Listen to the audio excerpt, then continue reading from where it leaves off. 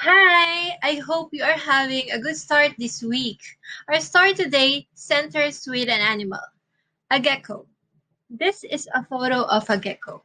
A gecko is a type of lizard. We call it tuko in Filipino. Now, this gecko is quite unique because he loves music. A tuko which loves music is indeed interesting. Our story is entitled Tuko the Tenor Wannabe story by Nemah Hermosa, and illustrations by Ruben Jesus.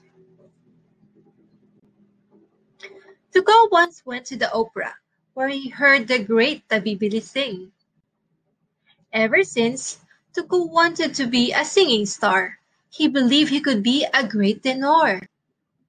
He went to music school and had voice lessons. And how Tuko practice? That's him singing his heart out. He sang upon waking up. He sang before and after meals. He sang before going to bed. He sang in the school. He sang in the bus.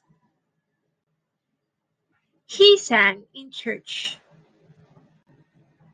And of course, he sang in the bath. Everybody else knew Tuko could not sing beyond two notes. They told him so. I did it my way. But Tuko was bent on a singing career.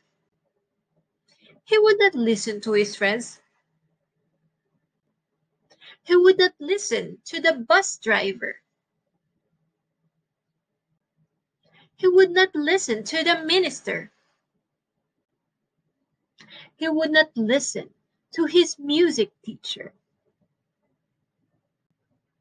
He would not listen to his mother, who knew best.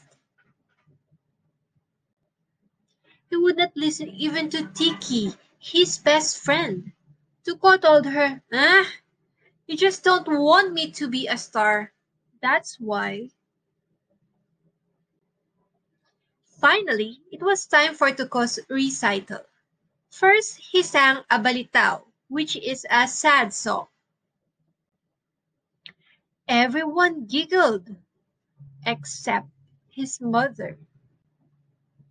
Then Tuko sang a kundiman, which is a love song. When he reached the high notes, he closed his eyes.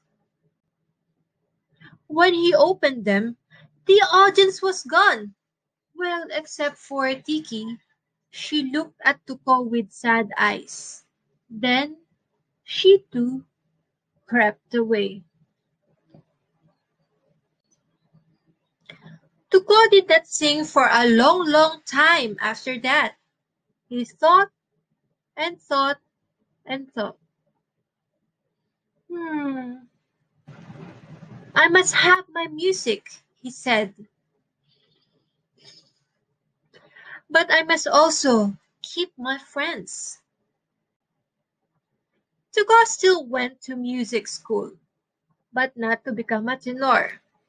He has become a star, all right, as conductor of the Bubuli Symphony Orchestra. His mother, Tiki, and all his friends are very proud of him. And that's our story for today entitled Tuko the Tenor Wannabe. Have a great day, everyone!